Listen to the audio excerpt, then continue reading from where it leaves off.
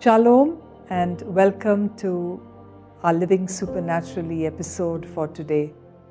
We trust along with us you have been enjoying God's Word, meditating on His Word, and just being strengthened as we learn and look deeply into His Word. We have been looking at a fresh series of the fear of the Lord. And yesterday, we started to understand and look at some scriptures that helps us see the different benefits or the blessings that we have because of our fear of the Lord. And in today's verse, I want to bring to you another benefit. Reading two verses, Proverbs chapter 1, verse 7 The fear of the Lord is the beginning of knowledge, but fools despise wisdom and instruction. Proverbs chapter 9, verse 10 The fear of the Lord is the beginning of wisdom, and the knowledge of the Holy One is understanding. So, the benefit and the blessing that we have when we fear the Lord is to have wisdom. The fear of the Lord is the beginning of wisdom. So, what is wisdom? Wisdom is seeing and responding to situations or things from the point of God. And in these verses, there is a parallel that is there between the wise and the foolish. And this it gives us some insight.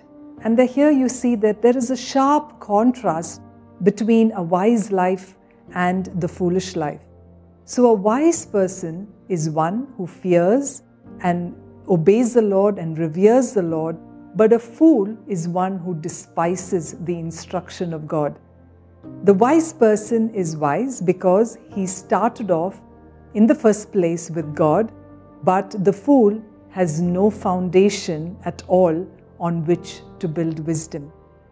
So, without the fear of God, we make decisions based on our own faulty understanding.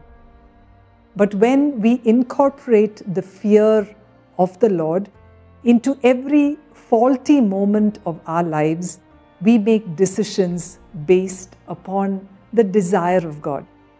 So we see that the fear of God, when we fear the Lord in situations and life from God's perspective, when we fear the Lord, we see situations and life from the perspectives of, of God, from the way God sees it, in the wisdom that He has it.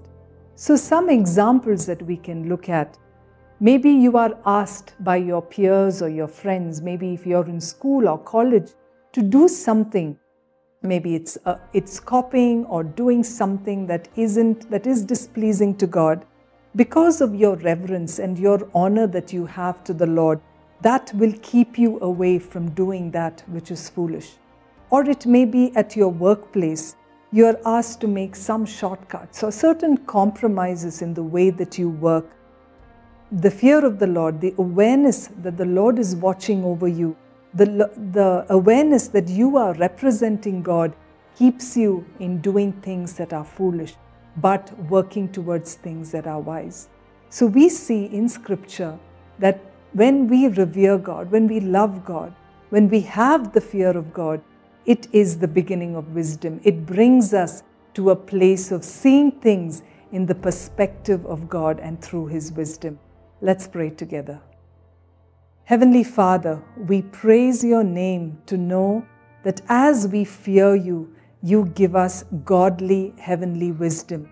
It keeps us away, Master, from everything that is foolish, and we take on your perspective, your view, your viewpoint of, of life. Lord, we pray that we operate in the wisdom of God as we look to you. In Jesus' matchless name we pray. Amen. Thank you for tuning in to Living Supernaturally. For more resources to strengthen your spiritual walk, please visit apcwo.org.